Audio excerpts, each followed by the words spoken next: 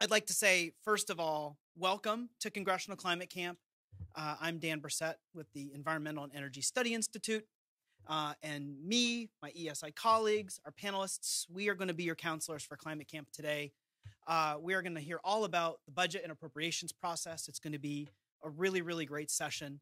Um, in addition to our two panelists, we have one joining us remotely today for for reasons, um, but it's going to be uh, well worth the 10 minute delay. And hopefully that meant everyone has a little bit of extra time to go get some donuts. Before we dig into the show, I would like to say special thanks to Senator Chris Van Hollen and his excellent staff for helping us get the room today. Uh, we couldn't do it without them. Uh, and uh, I, I'm a Marylander, so very proud to call him one of my senators. So thank you very much, Senator Van Hollen and his staff. Um, the Environmental and Energy Study Institute uh, dates back to 1984. Oops.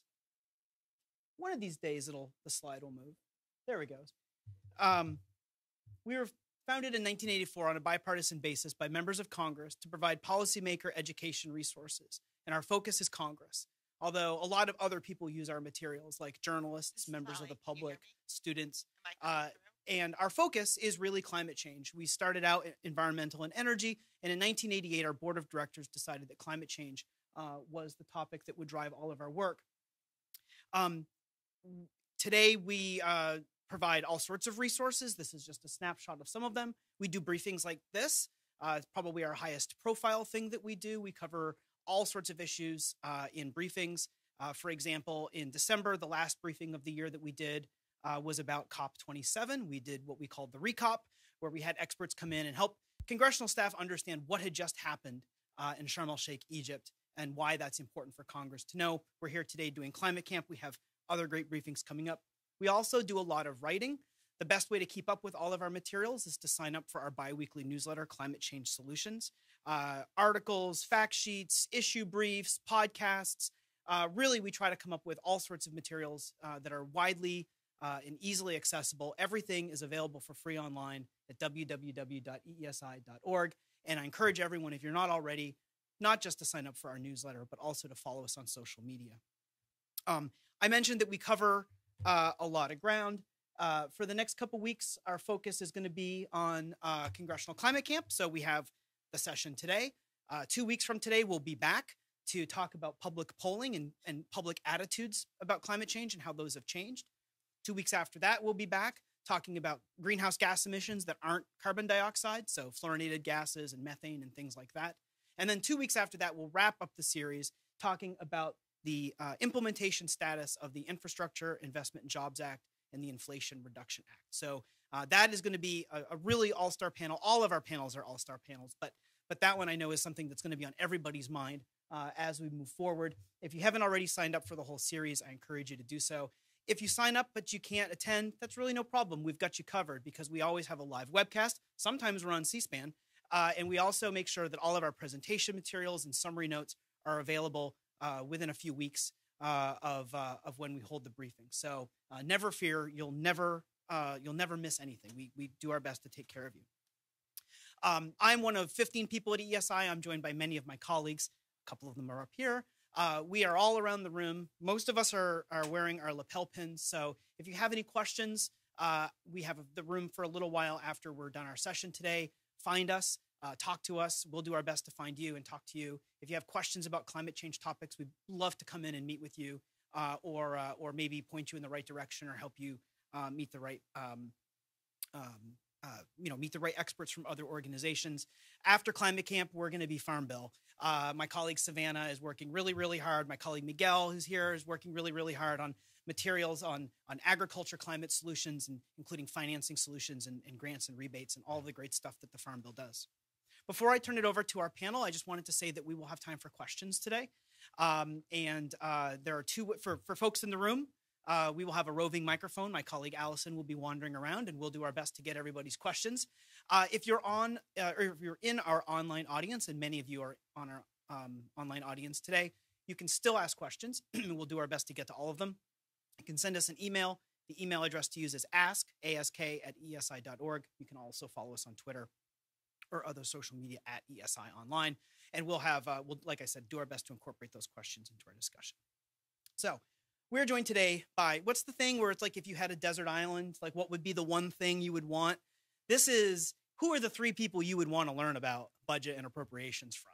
And we have them for you today. And the first of our panelists is Angela Jones. Angela is an analyst in environmental policy at the Congressional Research Service. And of course, CRS provides nonpartisan research and analysis to members of Congress, their staff, and congressional committees. Angela's policy portfolio includes the Environmental Protection Agency's budget and appropriations, environmental justice, and carbon capture and storage issues. Before CRS, Angela provided environmental policy and regulatory analysis in the government consulting and nonprofit sectors.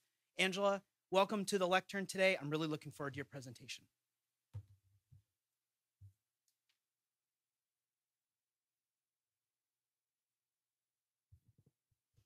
Thank you. Um, just to recap, for those of you not familiar with CRS, we are part of the Library of Congress. And as Dan mentioned, we provide Congress with nonpartisan, authoritative, confidential, objective, and timely research and analysis. So today I'm going to provide just an overview of the annual appropriations process and discuss recent appropriations at a high level and um, with a focus on U.S. Environmental Protection Agency or EPA appropriations.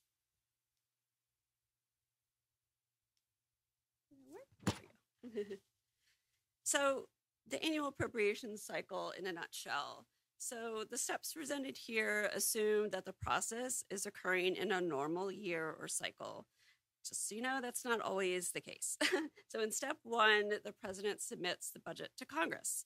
So the president submits um, the annual starts the annual budget cycle with a submission of the annual budget proposal for the upcoming fiscal year to Congress. So the president is required to submit this annual budget on or before the first Monday in February.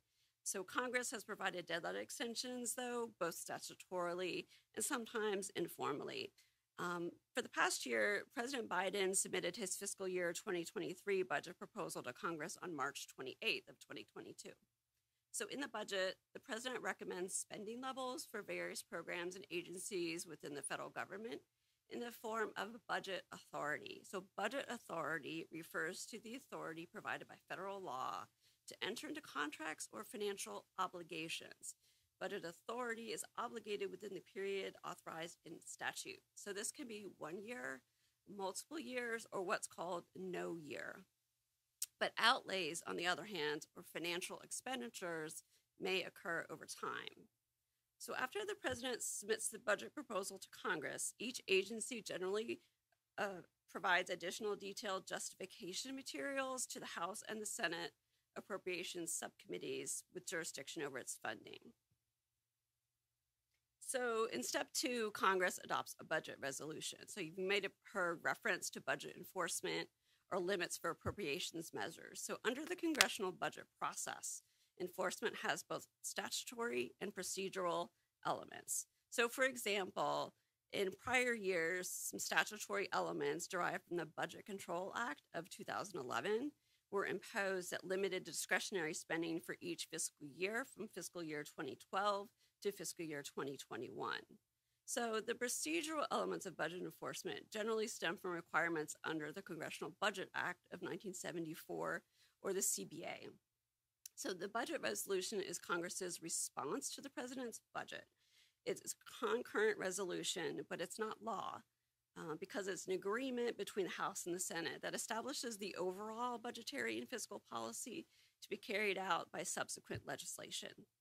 And through the CBA process, the Appropriations Committee in each chamber, as well as their subcommittees, receives a procedural limit on the total amount of the budget authority for the upcoming fiscal year. The budget resolution must cover at least five fiscal years. So there's the upcoming fiscal year referred to as the budget year plus four subsequent fiscal years. So the budget resolution sets total new budget authority and outlay levels for each fiscal year covered by the resolution. It also allocates federal spending among 20 functional categories, such as national defense, agriculture, transportation, and it sets budget authority and outlay levels for each function. Then within each chamber, the total new budget authority and outlays for each fiscal year are also allocated oh, among the committees with jurisdiction over spending, setting spending ceilings for each committee. So the House and Senate committees on appropriations receive allocations only for the upcoming fiscal year because appropriations measures are annual. Once the Appropriations Committee receives their spending ceilings, they separately subdivide the account among the receptive subcommittees, providing spending ceilings for each subcommittee. So the CBA established April 15th as the target deadline for congressional adoption of the budget resolution, although Congress has frequently not met the state. But there's no penalty uh, if the budget resolution is not completed by April 15th, or even if it's not completed at all. So the act prohibits both House and Senate floor consideration of the appropriations measures for the upcoming fiscal year before Congress completes the budget resolution. And in the Senate, it actually prohibits it before the Senate Appropriations Committee receives its spending ceilings. So if Congress delays completion of the annual bu- budget resolution or doesn't adopt one, each chamber uh, may adopt what's called a deeming resolution to address these procedural difficulties. Okay, so in step three, Congress considers appropriations measures. So traditionally, the House has initiated considerations of regular appropriations measures, and the Senate would then consider and amend the House passed bills. Um, more recently, the Senate Appropriations Subcommittees and Committee have sometimes not waited for the House. Instead, they've reported original Senate bills. So, under this approach, the House and Senate Appropriations Committees and their subcommittees have often considered the regular bills simultaneously. So the House Appropriations, Appropriations Committee reports the 12 regular appropriation bills separately to the full House. The committee generally reports the bills in May and June, and generally the House starts floor considerations of these regular appropriation bills in May or June as well. The Senate Appropriations Committee typically begins reporting the bills in June and generally completes com- committee consideration prior to the August recess. And the Senate typically begins floor consideration beginning in June or July. Consideration by the, the full House and Senate could continue through the fall. Uh, when Congress has traditionally considered and approved the regular appropriation bills separately, delays in the process may mean that one or more appropriations measures may not receive a separate initial consideration, and that several appropriations bills, bills may be combined into a single legislative vehicle prior to enactment. And this is typically referred to as an omnibus appropriations measure. And if this whole process is not completed prior to October 1st, which is the start of the fiscal year, Congress may need to enact one or more measures to provide temporary funding authority to prevent a funding gap. And this has traditionally been provided in the form of a joint resolution to allow agencies or programs to continue to obligate funds at a particular rate. And this may be the rate of operations for the previous fiscal year for a specific period of time. And these measures are known as continuing resolutions or CRs. Um, and they can range from a single day to an entire fiscal year. All right, moving on to step four, almost done. Uh, House and Senate confer to resolve the differences. Um, so this is um, after they've approved the measure, the Constitution requires that the House and Senate, for any measure, approve um, the same, precisely the same form um, and the same measure before it may be presented to the president for his signature or veto. So each, the Appropriations Committee in each chamber will try to negotiate a resolution that resolves the differences. Um, it has generally been that they convene a conference committee to resolve the differences, but agreement um, can also be reached through an exchange of amendments between the houses. In the final step, the president may sign or veto the measure.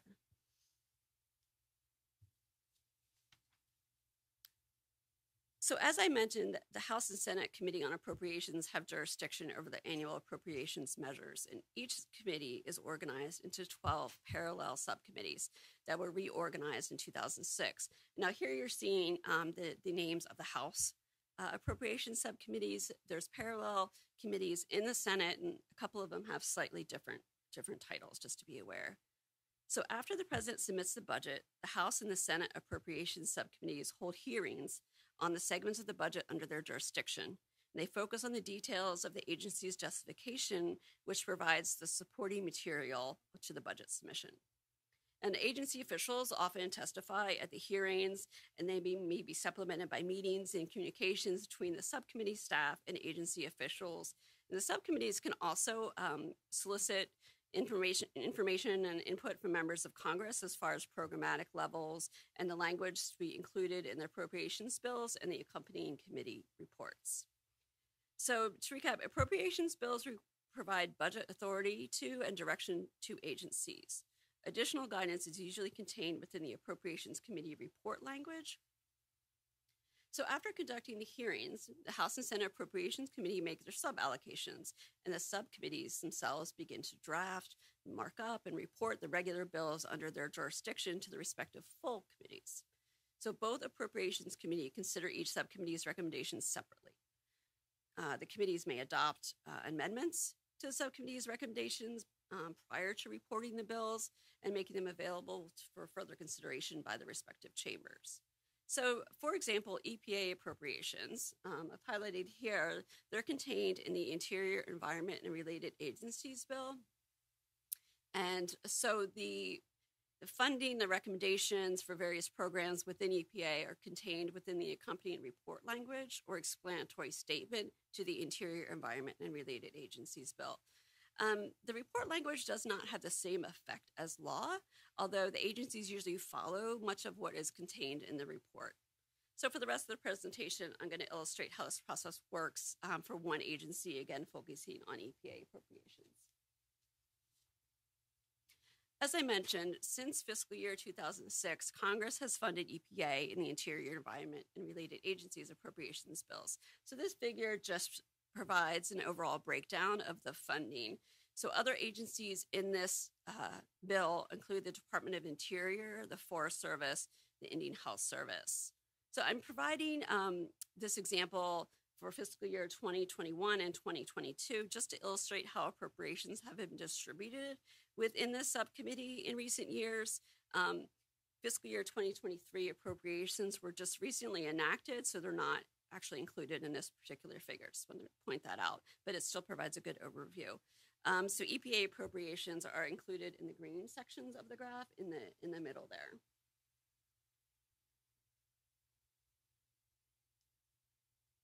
So a little more information on EPA. Um, EPA's primary responsibilities have evolved over time, and they include the regulation of air quality, water quality, and chemicals in commerce the development of regulatory criteria for the management of disposal of solid and hazardous waste, and the remediation of environmental contamination. Although EPA sets uniform pollution control standards and regulations on a national level, the implementation and enforcement of many of these standards and regulations are delegated to states and tribes. And this will be important because EPA also provides substantial financial assistance to states, tribes, and local governments to aid them in administering these delegated pollution control programs and complying with certain federal environmental requirements. So, this figure presents trends over time the amount requested by the administration and enacted regular discretionary and supplemental appropriations since fiscal year 2014. I do want to point out that this graph does include supplemental information, whereas the graph on the previous slide did not include supplemental. Just something to, to keep in mind that they're not exactly um, uh, the, showing the same uh, same amounts, but they're good illustrations of the general trends. Um, so for fiscal year 22, you might notice that the Infrastructure Investment and Jobs Act provided an additional $14 billion for EPA in emergency supplemental appropriations on top of regular annual appropriations. You can see that jump on the graph there. Um, in addition, the Inflation Reduction Act of 2022, as the measure is usually called, provided an additional 41.47 billion to EPA in permanent or mandatory appropriations on top of regular annual appropriations. So for fiscal year 2023, the current fiscal year, Congress appropriated 10.14 billion in regular annual appropriations to EPA, an additional 1.67 billion in supplemental appropriations. Um, these appropriations were enacted as part of a consolidated or an omnibus appropriations bill. So, going one step further down in detail, so the funding for discretionary spending for EPA is, is annually appropriated among 10 statutory accounts established by Congress over time. So, this figure shows the trends since 2014, as well as a distribution of funding among EPA's accounts. So for EPA, historically, the state and tribal assistance grants, which is the bright blue portion of the graph, and the environmental program and management accounts, and that's in dark blue at the bottom, have received the largest share of funding, followed by the Superfund and the science and technology accounts.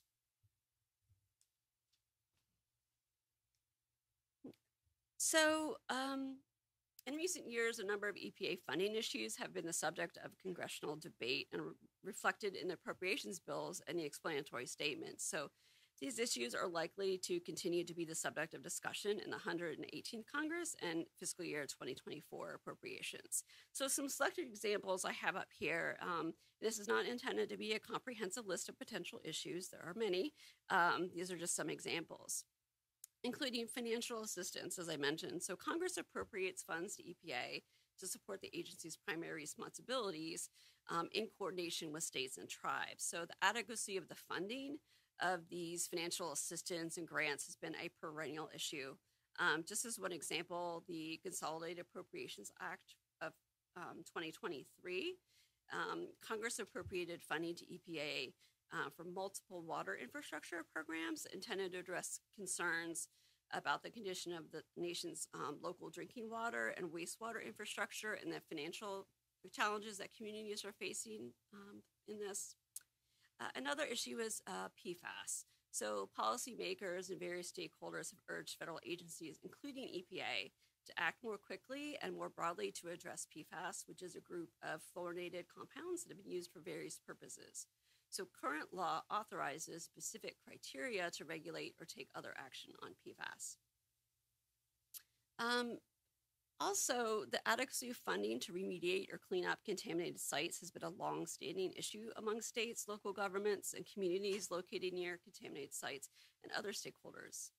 Um, as well, climate, air quality, and climate change. So, several EPA air quality and climate change activities typically receive a lot of attention in annual appropriations discussions. Um, these activities include things like regulations under the Clean Air Act to address emissions of greenhouse gases, air pollutants, and climate change science and adaptation. Um, also, environmental justice. It, in recent explanatory statements, Congress has actually supported increased funding to EPA for environmental justice related activities and programs. Um, and so, the amount of funding for these programs, which actually span across the agency, continues to be an issue of interest. And finally, um, although Congress does not set specific staffing levels for EPA in Annual Appropriations Act, the size and the structure of EPA's workforce has continued to be a topic of discussion in annual appropriations debates. So, thank you for your time. If you'd like to learn more about the appropriations process or other legislative topics, um, please visit our um, CRS reports website at crs.reports.gov. Um, and thanks very much.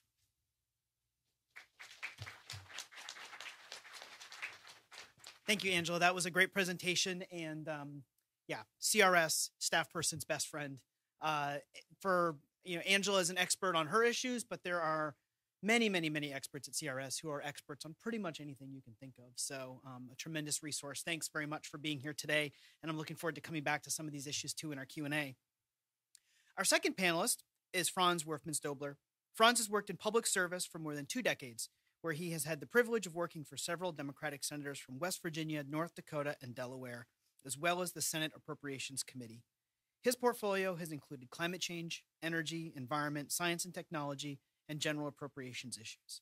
Throughout his career, Franz has sought to find common ground approaches and advance major legislative initiatives and continues to engage in that work at the Bipartisan Policy Center by focusing on efforts to build bipartisanship and improve public discourse. And of special note, Franz is a member of the EESI Advisory Board, which we uh, are very, very grateful for. Um, Franz, it's awesome to see you. Please join me at the lectern, and I'll turn it over to you. And here's your clicker.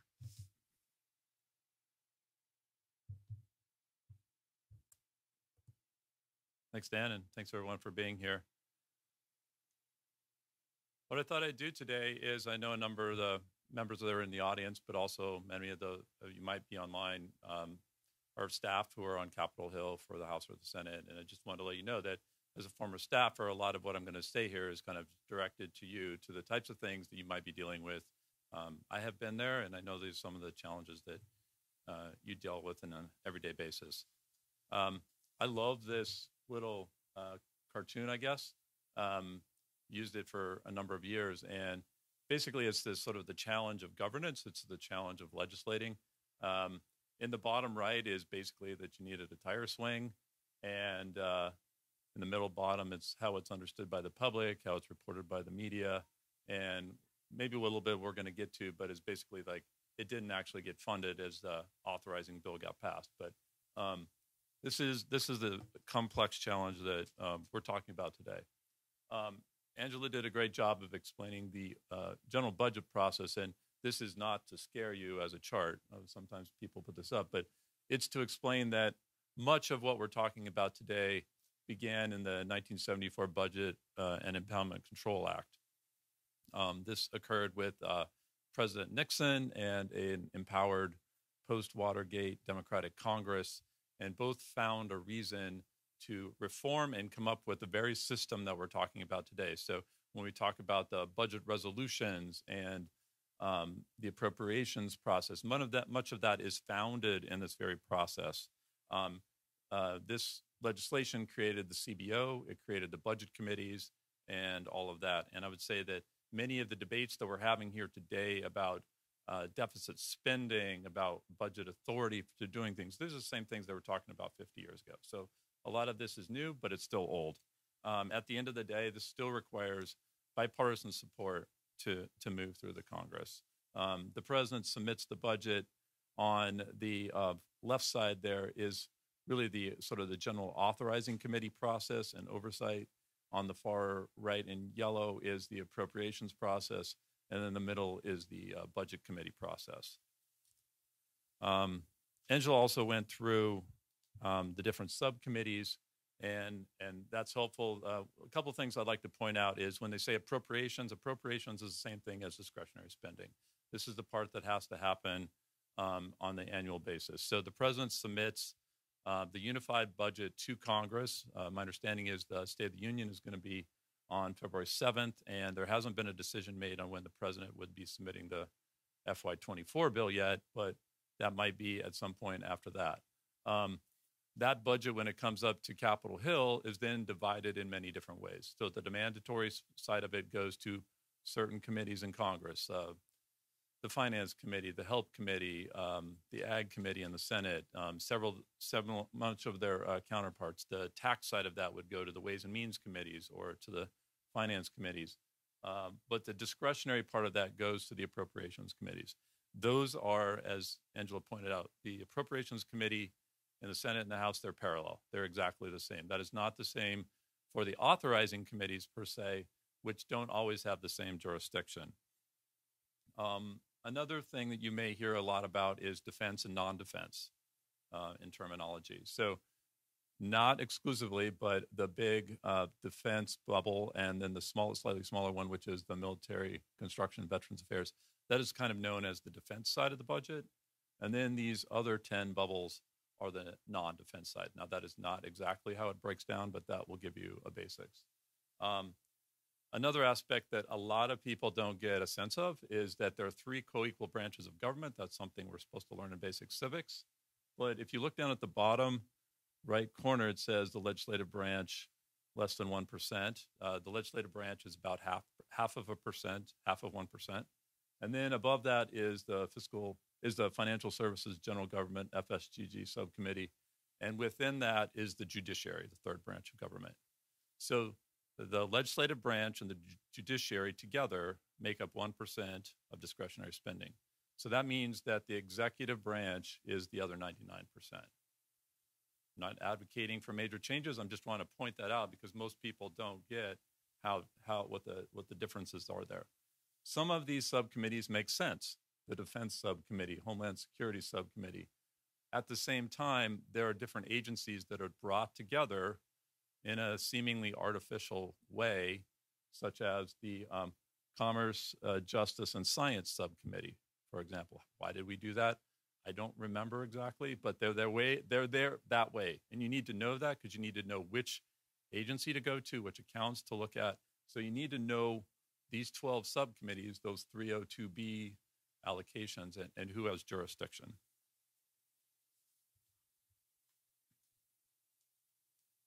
Um, again, and Angela has gone through some of this. Uh, what I want to point out is those uh, bullet points that are up there are slightly deliberate um, in that one of the first part of that, that's what the executive branch does. And then the uh, sort of the arrows are what happens on the Congress side. So there are cycles that are happening simultaneously. Um, as saying the president uh, gives the State of the Union, it's it's in January, but it's going to be at the beginning of February, and then after that, the budget is submitted. So these um, cycles are happening at the same time, and one of the differences is on the executive branch side, in the budget committee and the, in the budget offices of the various agencies, Congress is dealing with one budget typically at the same at the same time. Agencies are dealing with multiple budgets at the same time. So as you get into some of this, where you're looking at um, July, uh, federal agencies are beginning to formulate the next fiscal year. You know, Congress may be thinking about FY24.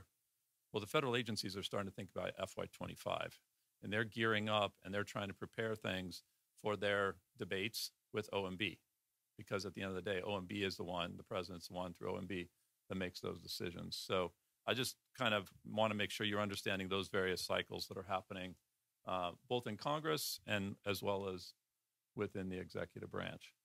Um, it has been the case, certainly, that um, there have been individual appropriations bills that have been enacted by uh, September 30th. This is much less common these days. Um, there was a period of time now where there were some minibuses, and now it's moved on much more to what is known as the omnibus approach, which often stretches in December. And then when um, the fiscal year 22 uh, uh, approach was uh, ultimately enacted in, in March of 2020, uh, t- March of 2022. Um, so that was took a couple more months. Um, so for for those of you who are staff, you may be asking like, so how does this affect me? What is what is something that I need to be aware of? Um, these are ways that you in your office, and primarily thinking about um, personal offices here, but it does involve if you might be on a committee of jurisdiction also to be involved in this process. So I'd sort of offer a couple ideas to you. Um, first of all, your office should think about being involved in submitting requests to the Appropriations Committee, member priorities, um, and the committees are the ones they put out uh, deadlines. They indicate what they're looking for, and that has not happened yet because there's still sort of a little bit of a delay in the process for this year. Um, the three most important things to be aware of in terms of making those types of requests are you're making a funding request, a report language request or a bill language request. They are slightly different, um, but the appropriations committees will indicate that as you're trying to put ideas forward. To do that, um, another another opportunity too is um, sort of what they're known as multi-member letters. Um, a member of Congress may start a letter on an important topic, and then other members can sign on to that as well. So know that your member can make individual requests through uh, letters to the appropriation subcommittees, or they can often also lead or sign on to some of these multi member letters. Um, additionally, then, is after that, um, the oversight process. So the federal agencies come up before Congress and they have to testify on behalf of their budget. So that can be the secretary, it could be another senior official. They go before the authorizing committees of jurisdiction on the House and the Senate side. They usually do one budget hearing and then they'll go before the appropriation subcommittees. So depending on what um, committee your member serves on, is an opportunity to be able to ask questions at those various hearings. Um, to be honest, it's sometimes hard because you get five minute question rounds. You have to think about two or three questions to get in during that time period. Um, an additional op- opportunity is questions for the record. Um, those are questions that are submitted to the agencies for them to respond to afterwards. But also sometimes it's uncertain when when those questions are going to come about. But the uh, oversight process, uh, budget process, is another opportunity. Um, following on, and and this again is to just be honest that the appropriations bills have not really been on the floors. Um, the Senate process, Senate appropriations bills um, did not get debated on the floor in the last two cycles and not as many House bills have. But there are ways to um, put forward amendments, and hopefully that continues to improve over time. Um, so the floor debates, and then finally, um, there are various ways that you know if an idea is in the president's budget, that has actually more power than if it, it doesn't exist and you're trying to push it into an appropriations bill. So um, letting the the letting the executive branch know through the agencies um, and other means that this is an idea that is important. Those, if those ideas get added into the president's budget request, that definitely it exists, and you're advocating on behalf of it rather than trying to get it added to that fiscal year cycle. Um, so again, sort of thinking about what is important for uh, an office, um, making sure you have a good organizational system. We are beginning what is now that we're more back in person, the fly-in season. Organizations tend to have a lot of their events in Washington, say through February through about May. A lot of constituents may want to be coming in and meet with you and learn and, and expressing their interest in, in priorities. Um, knowing the deadlines and requirements for the appropriations process. Those haven't come out yet, but those are really important to know what what what time to meet. Um, there are the uh, programmatic requests as well as individual member requests. Uh, both those are important. We're happy to talk about that more. Um, obviously, knowing which subcommittee to go to, um, keeping your constituents up to date about what's going on. That can be some of those online newsletters or things like that. And then at the end of the day, whenever some bill is passed into law and your boss pushed for it, making sure you highlight those in the various social media or other means. Um, well, often this seems uh, confusing, and it's like, how do I learn about where do I find things? This is kind of a rundown, kind of along the calendar is when the of, of different documents you need to know about. Uh, so the president's submitting the budget request. Congressional justifications are basically just the individual agency breakout of the unified federal budget, um, the budget committee resolution and the 302A and 302Bs. Um, in addition to that, what the subcommittees have in their subcommittee marks and full committee marks, and then the omnibus examples, which when it becomes an omnibus, the reports change name and now becomes called a joint explanatory statement. Um, happy to answer questions, but I just want to give you a little bit of insight from that standpoint. That was great. That was a great presentation. I, I saw a lot of people break out their pens uh, on Franz's resource slide. Uh, it's great that you wanted to write that down, but we also have the slides available today. Um, the slides will be posted online at eesi.org. So if you'd like to go back, look at any of, oh, thanks. Um, actually, I guess Molly's going to do her slides. But um, if you want to go back and revisit Franz's slides, Angela's slides, if you want to compare the academic version of the process and the reality version of the process, you can put them side by side. Um, and uh, and also there'll be some additional materials there too um, that we'll be linking to. And if you want to go back and watch the presentations themselves, we're usually able to post the webcast pretty quickly, and then a little while later uh, we'll have some summary notes. So um, if you didn't, if you feel like maybe you missed something uh, here in the moment, no problem, uh, we've got you covered. Our third panelist is joining us remotely, um, and that's Molly Reynolds. Molly is a senior fellow in governance studies at Brookings. She studies Congress with an emphasis on how congressional rules and procedures affect domestic policy outcomes. She's the author of the book Exceptions to the Rule The Politics of Filibuster Limitations in the U.S. Senate, which explores the creation, use, and consequences of the budget reconciliation process and other procedures that prevent filibusters in the, in the U.S. Senate. Uh, Molly was actually a panelist on Climate Camp two years ago, talking specifically about budget reconciliation. She's a great expert on that. I recommend go back and, and check out that briefing if you'd like to learn more. Uh, her current research projects include work on oversight in the House congressional reform and congressional budget process. She also supervises uh, the maintenance of Brookings' long running resource on the first branch of government, Vital Statistics on Congress.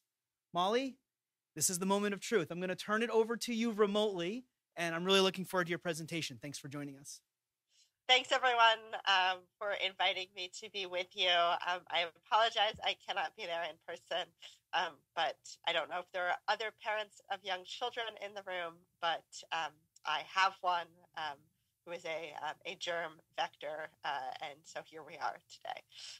what the EESI folks have asked me to do today is to provide a little bit of context um, on the forces shaping this year's budget and appropriations process. And so I'm going to talk about kind of three things, both um, separately, but you'll see as I talk about them the ways in which they relate to one another. And so I'm going to talk about divided government, I'm going to talk about the debt limit, and I'm going to talk about changes in Congress over time. So, first, to talk a little bit about divided government. So, one thing that we know from the past several decades of Congress's experience with the discretionary appropriations process is that um, the combination of small majorities, and we live in an era of small congressional majorities. Um, the Republicans currently enjoy a five seat majority in the House. That's about the same size as the Democrats' majority was in the House in the last Congress. In the last Congress, Democrats had an even 50 50 tie in the Senate. Um, now, um, as Senator Sinema continues to organizationally uh, associate herself with um, the Democratic caucus, uh, they have a 51 vote uh, majority, but we have small majorities um, and we have really polarized parties. Um, so the parties in both chambers are quite far apart from one another. Um, and when you put these things together, especially but not exclusively in the Senate, you end up with a situation where it's really difficult to adopt individual appropriations bills on the floor of the Senate. Um, when the Senate um, wants to consider appropriations bills, it's really attractive to party leaders to do them either all in one omnibus package or in several, say, minibus packages, because it is difficult to build those coalitions in an era of small majorities and the filibuster and polarized parties. We also, um, right now, have um, divided government, um, and we have um, a particular flavor of divided government with uh, the House controlled by Republicans, um, the Senate controlled by Democrats, Dem- a Democratic president in the White House, and that produces just really different spending priorities um, across those set that set of actors. And here I want to talk a little bit about some relevant previous experiences. First in 2011, um, where we had this same configuration and we had a new House Republican majority that had been fueled by the Tea Party wave in 2010. Again, the, that wave was much larger than the wave we ultimately saw in 2022, but there are some similarities with kind of a resurgent new Republican House majority. Um, in 2011, House Republicans initially tried to play hardball on some continuing resolutions in early 2011 before ultimately uh, coalescing around a position where they were going to insist on debt ceiling, any debt ceiling increase um, would be matched dollar for dollar by spending reductions um, in in the ten year budget window. Ultimately, the negotiations um, in 2011 produced what's known as the Budget Control Act, which capped discretionary spending and created what we now refer to as a super the super committee, um, which tried and failed to pr- produce additional deficit reduction. Um, the two parties, I think, learned really different lessons from this experience. Um, on one hand, I think Republicans um, saw it as one of the few times where they really sort of held out um, for for change and got something. Um, we can sort of debate the the long term consequences of the of the Budget Control Act, um, but uh, I think Republicans see it one way, and I think Democrats see it as an example of why you should not let uh, Republicans take the debt limit hostage. Uh, I will say, from an institutional perspective, it's also a really important reminder that budget agreements are only as good as the political will uh, that remains to enforce them. In uh, 20, uh, starting in 2013, we periodically raised those Budget Control Act discretionary spending caps. Um, so I think it, it, reminds us of um, you know what is what is necessary to enforce tough tough budget agreements. Um, in 2013, um, we saw similarly divided government, House controlled by Republicans, Senate still controlled by Democrats. Um, and in May of 2013, we saw um, sort of the uh, suspension of the debt limit expire. Action was needed by October. Um, because action was needed by mid October, that put the resolution of the debt limit. Uh, uh, uh, increase on this roughly the same calendar as um, keeping the government open. Folks may remember that when the fiscal year ended on September 30th, there was no agreement in place to keep the government open, and we had a partial 16 day partial government shutdown. And then the deal to ultimately reopen the government also addressed um, the debt limit because, again, those two um, those two issues ended up tied um, uh, in time. Um, so I talked about the debt limit a couple times. Um, I want to talk about it a little bit more explicitly now, and just first note that the federal debt has always been subject to limits. The modern debt limit, um, which is a statutory overall limit on federal debt, has been in place since 1939, and it's the legal maximum amount of debt the government can accrue. Um, as the level of debt approaches the ceiling, um, the Treasury Department prepares to use um, what we call extraordinary measures. Um, these can push back the date by which uh, action in Congress is needed, but not forever. Um, uh, there are major consequences for actually breaching the debt limit. Uh, these include making it harder for Treasury to borrow, um, really bad consequences in global financial markets because actors are worried that the U.S. will not pay its bills, um, and a downgrade of U.S. credit rating. A default on the debt would trigger um, much bigger consequences than what we might call an ordinary government shutdown. Since many more payments beyond just those to, say, federal employees and grantees would be in danger. And again, it is the case that sometimes we've seen fights over discretionary spending get linked to a fight over the debt limit. Um, in 2011, the way out of the debt limit crisis involved this agreement to, on cuts to discretionary spending. And again, in 2013, um, the timing of needing to keep the government open and needing to address the debt limit meant that those negotiations got linked. Um, we've seen some reporting that suggests that Republicans um, this year may um, actually try and bring the two deadlines together um, uh, and perhaps do some short term uh, addressing of the debt limit over the summer, such that then putting the debt limit on um, uh, path to, to be linked to the end of the, um, the fiscal year. But it's really important to note that the debt limit is about fulfilling promises already made. And while there have been efforts to cut discretionary or mandatory spending in exchange for votes to raise the debt limit, the debt limit is fundamentally about past spending choices, not future choices. So we can see these two things get linked politically. We can see them get linked um, by the calendar, but they're um, conceptually they're um, they're not um, as linked as sometimes I think um, people try and make them. The last thing I want to talk about is change in Congress over time, and here I mean literal change in the humans who um, serve in um, in the two chambers. In the House, about thirty percent of Democrats and about twenty two percent of Republicans were in Congress for that big 2011 debt limit fight. In the Senate, it's about half of Democrats and about 35% of Republicans. Um, if you include sort of the, the next two um, uh, two years and look at 2013 and 2014, you get slightly higher numbers. 43% of House Democrats were here um, in, in that period, uh, about 30% of the House Republicans, about two thirds of Senate Democrats, and about 43% of Senate Republicans. And I point this out because it means sort of two different um, but important things. One, particularly on the Republican side of the aisle, we have fewer of the kind of old guard members um, who may have had um, very strong preferences about lower um, discretionary spending in some areas, but often had very strong preferences about higher discretionary spending in some areas, particularly on the defense side of the budget, and were fundamentally interested in um, get it and having a functional appropriations process. Um, here I'm thinking about folks like Richard Shelby, the recently retired um, top Republican on the Senate Appropriations Committee. So there are fewer of those individuals um, in still in the, the two chambers. And then also um, there are relatively few individuals who were actually here to kind of learn the hard lessons, um, especially in 2011, of what can happen um, when uh, there is a, a hostage taking involving the debt limit and really what those those consequences are. Um, so I will um, I will stop there, um, and I think I will um, stay on for questions um, if if that if the technology um, is in our favor. I don't want to jinx it, but the technology seems to be in our favor. We heard you loud and clear, Molly, and we saw your slides. So thank you very much. we're going to turn to. Oh yes, please. Molly deserves an applause. Hopefully, you can hear the applause. It's it's it's it's rapturous for those of us in the room. we're going to turn now to Q and A. Um, my colleague Allison uh, has a microphone and she'll come around. Um, while people are putting their questions together, I'm going to toss one out um, to get us started. And at EESI briefings, we like to ask questions that all of our panelists can, can have an opportunity to answer. And so I'm going to direct this one at Franz first.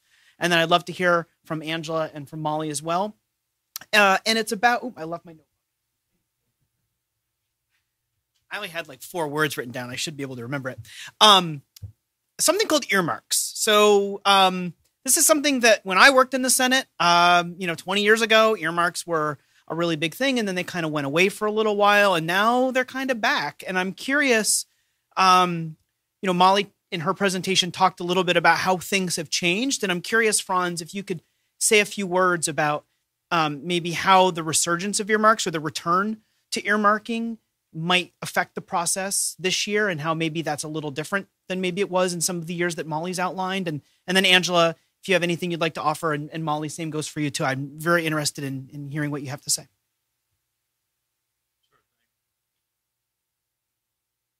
Hello. Okay. Thanks, Dan. Um, sure. I'm happy to cover that a little bit. There's a lot of aspects to this question. So Dan mentioned earmarks in the House side, it's called community project funding, and the Senate side, it's called congressional directed spending. and it's been put back in place for the last two years, so in the 117th Congress. Um, essentially, at the end of the day, this is about Article 1 authority. This is about congressional authority over the uh, president's budget request. Um, for about 10 years, there was a moratorium on this, and then it was brought back in the 117th Congress. And the argument for taking it away was it was going to help reduce the deficit, reduce costs. And so that really wasn't the case because the, the deficit definitely increased over that same period of time. Um, one of the aspects that I think is really powerful mm-hmm. is if we can touch on this just briefly, because I mentioned those subcommittees. Um, 99% of that goes to the executive branch, and then half percent to legislative branch, and half percent to judiciary. So this is not additional funding on top of the 302A. This is a small amount of funding within the executive branch among that 99%. Essentially, it's also been now capped at 1%. So it is a 1% um, within that amount that would otherwise go to the executive branch to make. So members of Congress are able to make decisions that are beneficial to their districts and to their various constituencies um, within that. Additionally, reforms have been made to that process that have addressed a lot of the concerns that you know some critics had of that. So, uh, for example, members of Congress have to sign letters saying that they themselves or their members of their family don't have any indirect interest. On the House side, uh, members are only to make up to 15 requests. Uh, the GAO has been asked to do a review of that process for fiscal year 22 and 23. Um, and then also no non or no pro, for-profit entities can apply, and so that's been banned. So there's a number of reforms that have been put in place. Um, it is a uh, understanding that that will continue in the 118th. There may be some additional reforms. We'll see about that. But the Senate, my understanding is the Senate and the House are planning to go forward with that. And so it is in parallel with uh, what is, I've mentioned programmatic funding. That is funding that would generally go to the agency or those accounts. And in this case, in parallel, members can make their own individual requests um, that are on top of that. So um, that explains that a little bit more. Thanks. Um, Angela, curious if you have anything to, to, to, share on the topic, and then Molly, we'll go to you. Sure. I can just give um, one example, just continuing with like, what does this look like for, for one agency and in, in one subcommittee? So for EPA, for example, in, in last appropriation cycle, um, the, um, you know, quote unquote earmarks um, meant that there, for EPA only, there was hun- over 100 um, different line items that were – passed as as earmarks um, and you know millions in dollars. And for like I said what I was mentioning you know kind of you can see what are the congressional priorities most I would 95% of them were for waste and wastewater and uh, drinking water infrastructure projects. So this is where what are the priorities and how that gets reflected and what the appropriations are so there were specific projects and specific districts for um, for these water projects that ended up um, through this this earmarks process. Molly, please feel free to jump in. Yeah, I think that um, the one thing I would add, um, just on top of what Franz and Angela have already said, is that um, one question that people often have about earmarks is to what degree do they sort of grease the wheels for the overall the overall appropriations process? Um, and I tend to be a person who thinks that um, historically they were sort of moderately helpful, but their abolition was not the cause of the breakdown um, in the appropriations process. Um, that said, I, I, do think that at the end of last year, um, there were there was some sense that um, when the debate was between do we finish an omnibus or do we resort to a full year continuing resolution?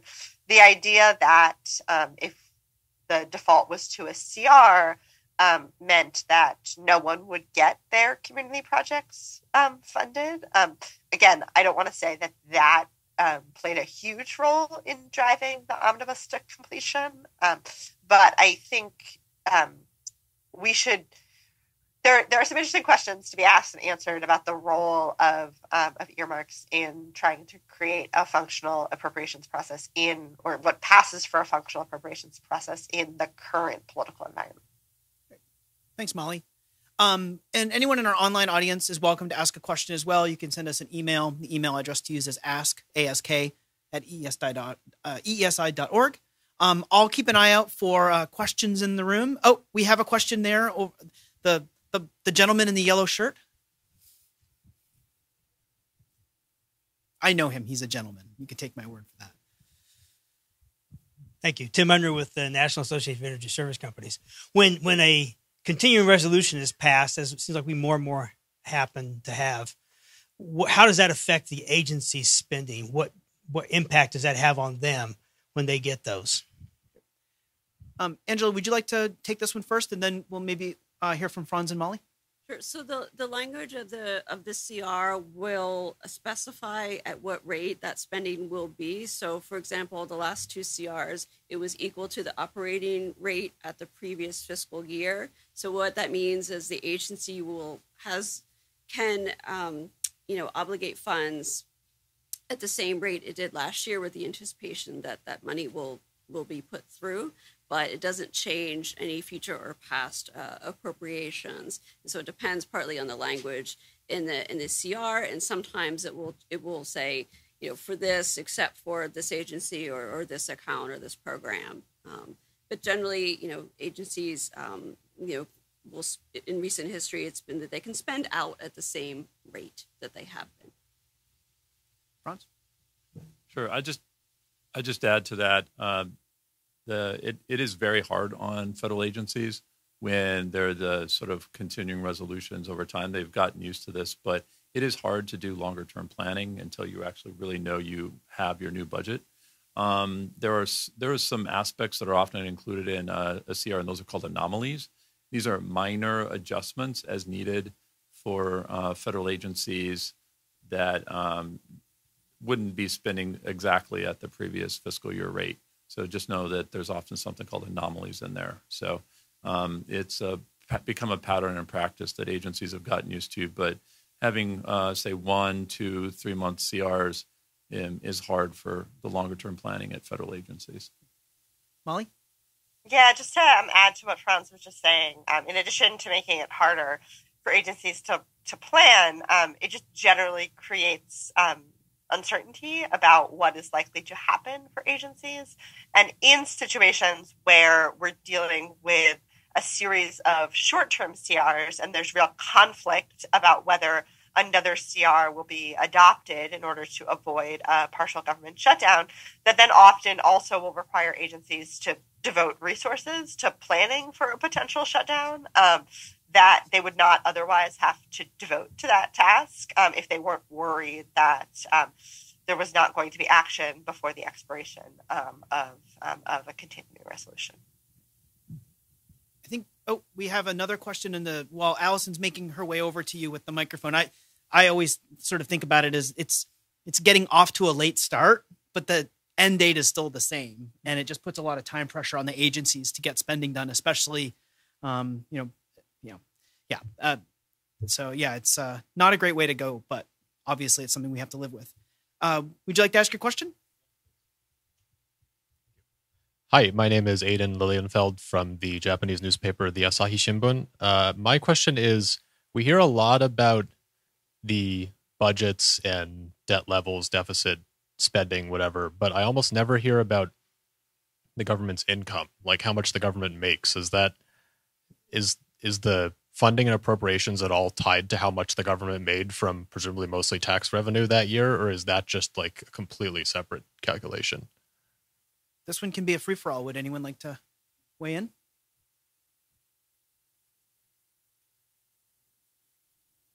So the pres- the president is the one that determines what the budget looks like when it's submitted to Congress, um, and they do calculate what the revenues are versus the outlays.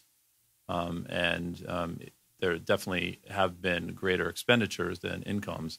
Um, I, I, guess it's not a question specifically for appropriations, how much is spent based upon what the income is, because there is a unified budget, which also includes the mandatory side, which is um, at least two thirds of the overall budget, while appropriations is one third of that budget. So all of that has to be taken into consideration. Yeah, and if we just want to sort of think about like how these concepts fit together, um, what in particularly in sort of the the framework that I um, laid out before about past, future versus future um, spending choices, the um, uh, how much money the government takes in in a given year, um, the gap between that and the the spending that goes out the door, both um, as the result of the discretionary appropriations process, and then as Franz was just saying, through the the um, through mandatory spending, the gap between um, those two um, amounts is what creates a the annual budget deficit, which the Treasury Department then has to borrow um, to make up the difference, and then the debt is the accumulation of those uh, of that borrowing over time. Um, I think we have another question on the other side of the room, so Allison will make her way over. Thanks, Allison. Thank you. Uh, Byron Callan, Capital Alpha Partners. You know, you talked about authorizations and appropriations. How often do the two actually line up, particularly when you talk about a multi year authorization and annual appropriations? Is there any data that says these split up exactly? Are there some variance or some pattern that might come out historically that you could point to? Angel, this one feels like you. Um, yeah, I don't, I don't have you know a data or, or study analysis you know at my, at my fingertips to to explain that, but um, do keep in mind when um, you know these an annual discretionary appropriations is money going going into the bank, and agencies often spend over multi years. So like a Superfund project will clean up can go on for 20 30 years and so each you know each year the agency is taking in money, getting some tax receipts, you know, um, having different expenditures, different kinds of expenditures. So it's a little difficult to um, to line up. Um, you know, it's it's not a, there's not a parallel between you know it was you authorized and, and, appropriated money for this year, and that's how you know much much got spent. Um, although we do get a lot of questions about you know where's this money that has been authorized you know for the next five years. Um, and you know and where is it gone? Um, it's it's a it's a it can be a little tricky to sort of get that that full picture. Go ahead franz. Yeah i think that's one of the uh, uh, fun challenges of the congress in terms of what is the uh, connection and but also the disconnect between authorizing and appropriations. And and that is that i'll use um, anecdotal example because this is the uh, climate camp um, there was major energy legislation in 1992, uh, followed by 2005, 2007, and then 2020. I know there's been other authorizing bills that have been passed in between that, but those would be four major energy authorizing uh, bills. Um, those don't directly align with the appropriations process. They can influence it, but um, in many, many, many cases, the amount that was intended to be on the authorized side of um, or a specific idea cannot be fulfilled in appropriations. So it, these, it's the intention that is is not always there. Um, whether that's you know, say for example, the Energy and Water Subcommittee or the EPA Interior EPA Subcommittee or those types of things that might be relevant. So um, it, it is kind of challenging for someone to fully understand the differences of the authorizing versus the appropriations process and, and, both are important, especially on the oversight side. But at the end of the day, where the rubber hits the road is appropriations. Molly, would you like to weigh in with a response on this one? Okay. No, um, I think uh, Angela and Franz covered it really well.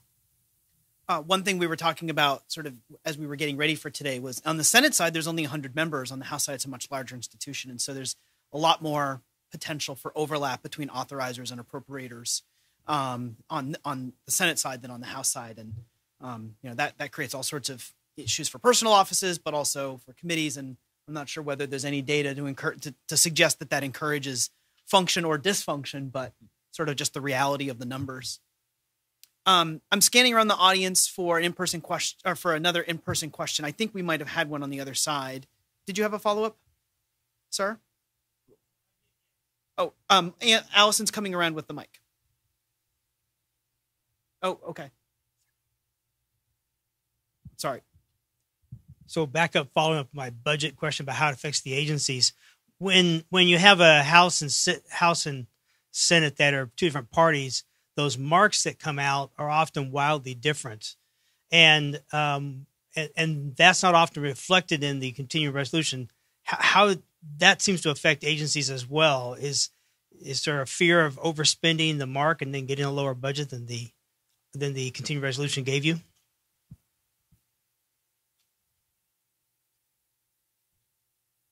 Um, well, the federal agencies would not be able to spend beyond their authority from the previous fiscal year. And the continuing resolution would be usually at the same amount for the fiscal year. So they're not going to, the intention is that they would not overspend as they, until they actually have the money in hand. They actually cannot do that. Um, so if they had a higher amount in the next fiscal year, they're not able to adjust for that until it actually has been um, enacted and signed by the president. Thanks for that. Um, we're gonna move to oh, Molly. Did you have? I'm sorry, and or um, Angela. Um, we're gonna move to another question, but I got a good one from our online audience that we'll do first, and this is gonna get to something that we were we were thinking about um, uh, trying to get to. The question is um, sort of how can an administrative rule um, be affected by appropriations? And the gist of the question is if um, Congress uh, doesn't want something to happen in the executive branch, can they use the appropriations process to squash it? Their words, not mine. Um, it's a really important issue. Um, curious what our panelists have to say about sort of what kind of potential there is for that. Um, and Molly, I'm happy to start with you if this one, if you'd like, and then we can hear from from Franz and um, Angela in the room. Sure. Um, I suspect that um, Franz, in particular, may have some um, concrete examples and experience of this. But generally, um, yes, um, what we would refer to um, the kind of thing that the question is asking about as a a form of uh, limitation rider. So basically, um, we can and do see in individual appropriations bills, whether they're passed as standalone measures or together in an omnibus, um, language that basically says that a federal agency cannot use funds to write, um, promulgate, finalize all kinds of things, um, certain federal uh, regulations. Um, there uh, when I when I teach about this, um, I, there's an example that I use from the um, FDA uh, in the aftermath of the passage of the Affordable Care Act involving um, uh, the FDA's menu labeling rule, where um, calorie counts have to be displayed on um, fast food menus. Um, that was the subject of one of these one of these riders at, at, at one point, and so it it is something that we uh, that can happen. we do see it, and I think riders in general are a place where we're seeing consistent high levels of conflict um, in the appropriations process, um, particularly between the parties. Um, and if you think back to 2018, which was both the most productive um, appropriations year in um, in more than a, a decade. There were um, several bills actually finished before the start and, and signed into law before the start of the fiscal year, and the year that brought us the partial government shutdown of record length, um, 36 days. One of the things that in the Senate really helped um, get that that process moving as smoothly as it did was a sort of commitment by both sides of the aisle, um, basically not to um, advocate for new riders, not to um, try and really pick fights about them. Um, so that is um, that is a, a, way that we can see this dynamic that the questioner is asking about. Great, thank you, Molly. Thank you, Molly. And we do have a couple responses from other panelists. Uh, yeah, so that Molly uh, hits the heart of it, which is, or they're called riders, and often you may hear um, a comment being made like we would like to pass a clean bill. And a clean bill means that just sort of focusing on the appropriations of to the federal agencies. Um, the greater challenge has been over a period of years that um, because of the limitations in the authorizing process and sort of the continuing oversight in that process, um, appropriations bills have carried policy language. Um, it usually is in what are called general provisions or GPs. And, and so, in a way, those are a, a, form of a rider, but they, they have been accepted. But as uh, Molly has pointed out, a no funds provision is no funds can be spent to do X, Y, or Z. And those have been debated when there is divided government, especially.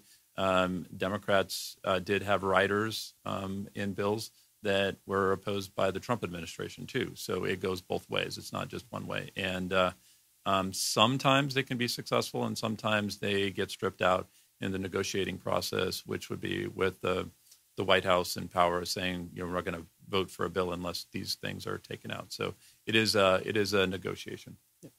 Uh, Angela. Just to give one quick example, I think they did a great job explaining the concept.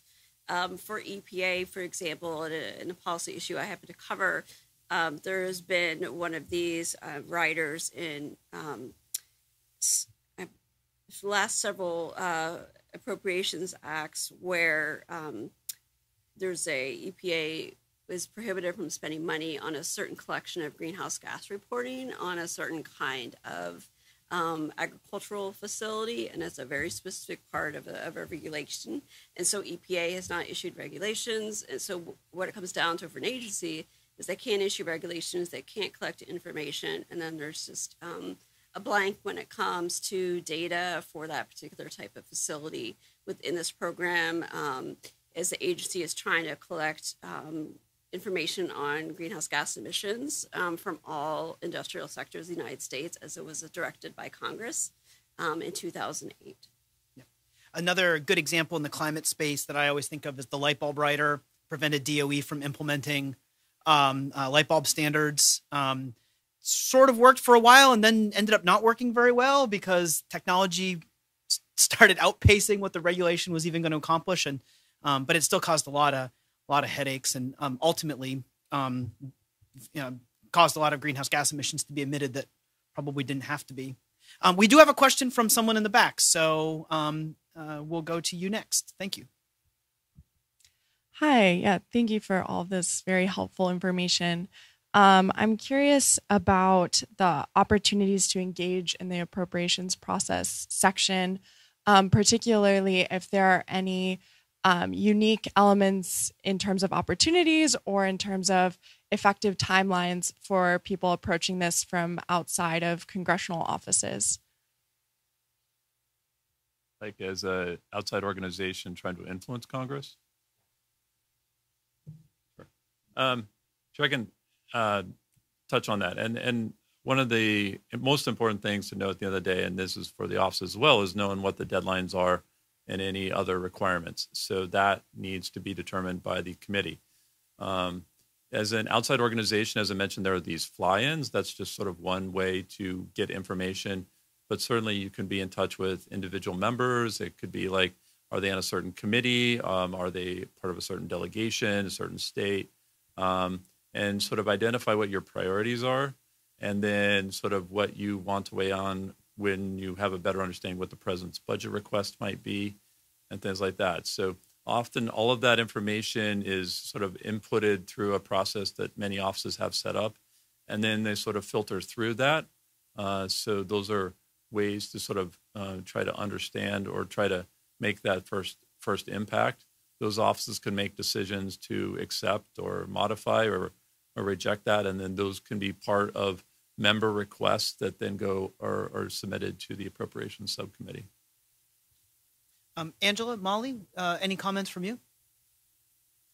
Um, EESI briefings are educational. We're not here to to advocate, but uh, one thing I learned the hard way when that was my job um, is that not to assume that subcommittees operate the same um, or even structure their reports the same. Um, interior is different than energy and water; they're different than agriculture, and so you know understanding the proclivities of the subcommittees is really important. And even on the House and Senate, oftentimes there's um, disagreements about how to approach things. And for a while, there was even different tolerances of report language, just generally. Um, you know what, whether or not it was even appropriate to to, to go ask for. So um, there's a lot to learn about this process. Climate Camp, in some ways, is just dipping our toes into the water because it's a big one. Go ahead, Franz.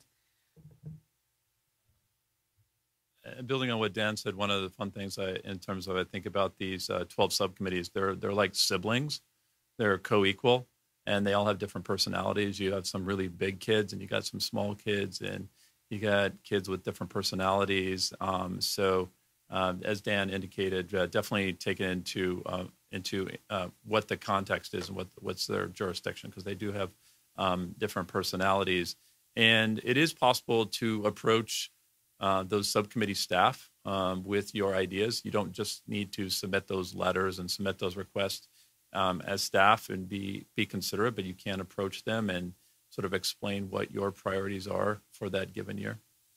Thanks, Franz. Um, so I have a. I'm keeping my eye out in the audience, but I have another question of something. You know, Molly's slides sort of talked about the 2011 and 2014 example. Something else that's happened since then a couple things called the Infrastructure Investment and Jobs Act and Inflation Reduction Act. And I'm curious from our panelists. What are some ways the the fact that those le- that those pieces of legislation have been enacted? Both of those pieces of legislation involved many many billions of dollars. Uh, sometimes new programs, sometimes existing programs. Um, what are some of the effects that staff people should be on the lookout for um, that that those bills um, are making possible? And Molly, if you'd like to go first on this one, I'm happy to defer to you. Otherwise, we can hear from uh, Franz and um, Angela.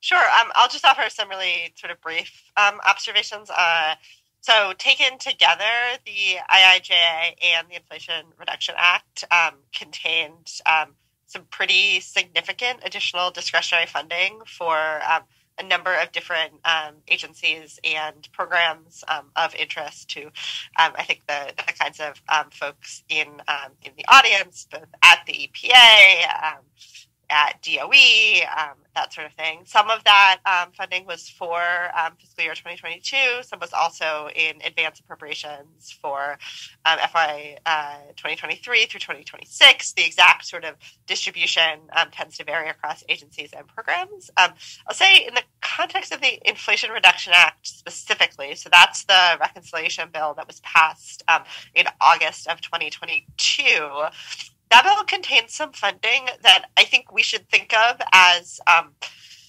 in other circumstances, um, funding that would have otherwise been handled through the discretionary appropriations process. So, without going too far down into the weeds, um, there are ways to take funding um, that one would generally um, uh, addressed through the discretionary appropriations process, through, so through the appropriations committees in both chambers, and sort of um, dress it up as mandatory spending um, to make it uh, permissible to be acted on in a reconciliation bill. Um, and so, for a long time, um, we didn't see a lot of that, of sort of using reconciliation to allocate funding that kind of would have otherwise been handled through the discretionary appropriations process, um, in large part because it was a real like jurisdictional sore point between the authorizing committees and the appropriations committees. But then in 2021 and 2022 in particular, we basically reached a point where um, Democrats holding extremely narrow majorities in both chambers and um, a Democratic president saw reconciliation, uh, which can't be filibustered in the Senate, um, as their kind of the pot of gold at the end of the rainbow. They're kind of one neat trick to get things done. And so we saw um, in both the um, uh, the American Rescue Plan in 2021 and then also in the Inflation Reduction Act in 2022, 2022 um, in the climate space and beyond, um, sort of the use of that legislative vehicle um, to do some things in the appropriation space that I think we would not have seen in earlier decades. Franz or Angela, any other comments? Great. Okay. I'm looking around for any final questions. We are unfortunately at about the end of our time today, and apologies for getting a bit of a late start, but we'll do our best to to, to end on time. So I know people have a busy day um, ahead of them. Um, oh, we do have one more. We can make it. We can make an exception. Okay, fair enough. Hi, I'm Liz Telly. I'm actually from uh, the Wildlife Conservation Society. It's a conservation nonprofit, but within that, we run the Climate Adaptation Fund. So I am very curious, total Padawan level, actually, at how these two bills will impact my work and the grant partners' work who we fund. So I'd love to hear a little bit more about what Molly just said about like dressing this up as mandatory spending and therefore using this reconciliation process to understand is the appropriations phase a place where, or to what extent will this money be influenced in how it's spent? Or once it goes through states and agencies, is more of that determination happening once the money goes through the appropriations process? And I'm sorry if my question reveals a lot of ignorance and is hard to answer, but thank you. Molly, would you like to say a few more words about what you mean by dressing up? Um, I think I was able to um, to hear the the question. Um, and the short answer is I don't um, have a great answer. Um, I think that, uh, again, because it's not something that we've seen as much as used as heavily um, historically, we, we just don't quite know kind of what Congress will will will try and do. But I do, and I, I think it's also um, helpful to remember that now we're like in a period of divided government. So, you know, anything that gets agreed on is going to have to have um, uh, bipartisan support. Um, but I do think it's it's also important to remember over the sort of medium term, um, as long as the filibuster exists for other legislating in the Senate, um, where are the places where um, uh, Senate majorities under unified party control are going to try and push the reconciliation envelope, um, if you will. Uh, and I think we'll just have to we'll just have to wait and see. Um, any other Franz or Angela? Okay, great. Um, well, thank you again for that, and, and thanks for that uh, that extra question at the end. That was a great way. Um, we are at the point now where we'll conclude the first installment of Climate Camp. I have to say, huge thanks to our tremendous panelists, Angela, Franz, and Molly. Molly, I hope everybody's feeling better soon. They deserve a round of applause for being just the best. So thank you so much for being here today. Um, also like to say once again a very special thanks to our friends uh, in Senator Van Hollen's office. Uh, couldn't do it without Sung and Mia and Shelby. So thank you very much for helping us get the room today and for uh, just being generally agreeable sorts and, and just always a pleasure to work with. So thank you very much to them as well. Um, I am just a. Oh, Savannah. Well, I also know Shelby. So Savannah too. Sorry about that. Um, also like to um, say uh, great thanks to everyone on Team EESI who makes today possible. Um, we've got Dan O'Brien up here. We've got Omri, um, Molly, Allison, Savannah, Miguel, Emma, um, our intern Tyler. First week gets to be at a briefing, which is always very cool. Um, you know, they're really the ones who do sort of all of the hard work to pulling these briefings together. Anna, who's not with us today, um, John Michael, everybody. Uh, lots and lots of work goes into this. Um, one of the, I, I also wanted to sort of mention them because if there are any donuts left over, they get to have them. The rule was only leftover donuts. So help me keep the donuts away from my colleagues. Take one on the way out. I think there might even be some napkins and some plates. If you have, you know, a kid or someone who needs a donut tonight, take one with you, and and, and then we'll we'll allow our, our my colleagues to have them. But thanks to everybody. Thanks also to Lindley and Madeline, our other two interns, um, for doing a great job. Today's Climate Camp number one. Two weeks we'll be back for Climate Camp number two. That one's going to be all about public attitudes and polling and sort of how those have changed over time. Then we'll be back two weeks after that for non CO2 greenhouse gas emissions, learning all about the, the wide range of pollutants and things that we pump into the atmosphere uh, that uh, contribute to climate change. Um, so that's going to be a really great one as well. And then uh, coming back to the idea of IIJA and IRA, we'll be talking uh, with some great panelists uh, about the status of the implementation of those bills. That'll be March 9th. That's the last briefing of the series. And then we'll be back. We'll do all sorts of great briefings, including a whole bunch on the Farm Bill, which I know is going to be everyone's going to have to be a Farm Bill expert uh, in a couple months. So our briefings will be ready um, for when that happens. Um, the last slide.